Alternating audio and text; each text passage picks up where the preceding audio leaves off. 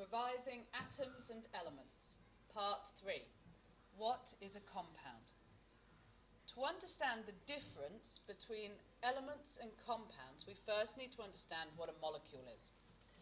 A molecule is the smallest bit a material or substance can be broken down into.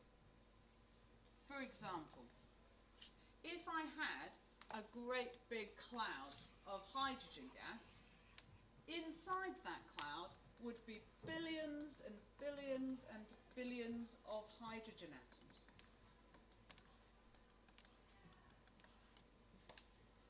Because it's a gas, the bonds between the atoms are fairly weak, so they're all floating around in different places. However, they are not travelling around on their own.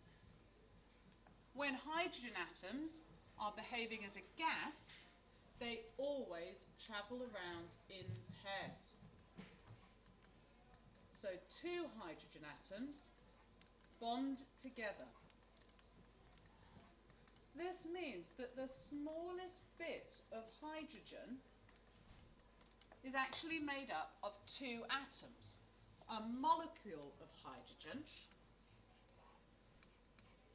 is made up of two hydrogen atoms. Now that's quite a lot to write when we're writing it out, so being scientists we like to make our lives a bit easier. Hydrogen has the symbol capital H, and because there are two of them, we're going to put a small 2 down here, not a large 2 and not a floating 2. This then is the formula for a molecule of hydrogen. Let's do another example. Up here I'm going to have my nice glass of water. Now water, a lot of you will already know its formula. It's called H2O. So we can already see which atoms go into making up water. In a smallest bit of water, we're going to have some hydrogen atoms and we're going to have some oxygen atoms. So let's put those in there.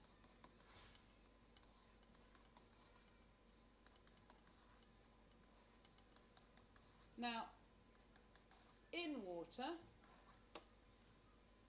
two hydrogen atoms are needed for every oxygen atom, and that's going to make one molecule up. So in between these, I'm going to put their little bonds in, so those two hydrogens can have that oxygen, and those two hydrogens can have that oxygen, and those two hydrogens can have that oxygen. And then because it's water, they tend to stay fairly close to each other. There are no extra hydrogen atoms or oxygen atoms. Anything that didn't join up as two hydrogen atoms and one oxygen atom just didn't become water. So a molecule of water is made up of three atoms. Now obviously we need lots and lots and lots of molecules just to get a single drop of water. But if we broke that drop down to the smallest bit to its molecule, we'd find three atoms in each molecule.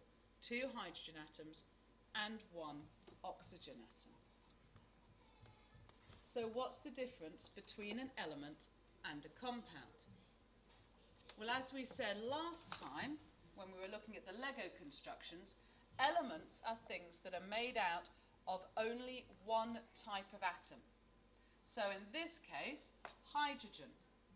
Hydrogen is an element because a single molecule of hydrogen is only made out of hydrogen atoms. Water is a compound. Because a single molecule of water is made up of a mixture of different atoms. We've got hydrogen atoms and oxygen atoms. Okay, let's do a few more and we'll see how you get on. Is this an element or a compound? Carbon dioxide. Well, to know whether it's a chemical or, an, or a compound without having to search the periodic table, we go to its formula. So carbon dioxide is written CO2. Well, there's a capital letter, so that has to be an element. And there's a capital letter, so that has to be an element. So we've got two different elements mixed together. That means a molecule of carbon dioxide is a compound. How many atoms make up one molecule of carbon dioxide? Well, we've got one C and we've got two oxygens. So all in all, three atoms get mixed together to make a molecule of carbon dioxide. So it is a compound with three atoms in it. Let's try another one. What about oxygen? The formula for oxygen is O2. There's a capital letter, and that's it. Only one type of atom in that molecule. So oxygen is an element. How many atoms in each molecule of oxygen? Two. So two oxygen atoms join together to make a molecule of oxygen. Not all elements travel round in pairs though. Some elements can be entirely on their own or can join together in different ways. Sulfur is an element and you can make molecules of sulfur that have eight atoms in them. So the formula is S8. What about bigger molecules? Let's clear this off and try a couple more. Let's look at sulfuric acid.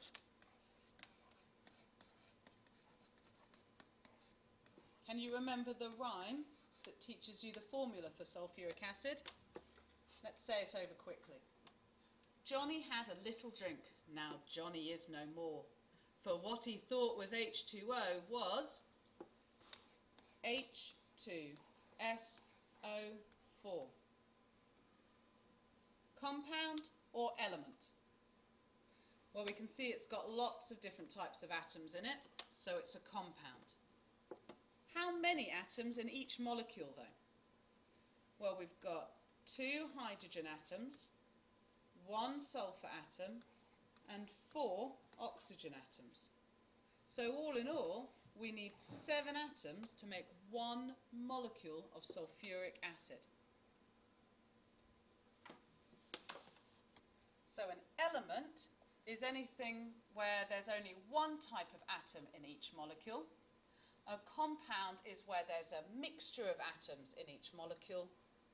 And you can tell which atoms make up a molecule by looking at its formula. End of part three.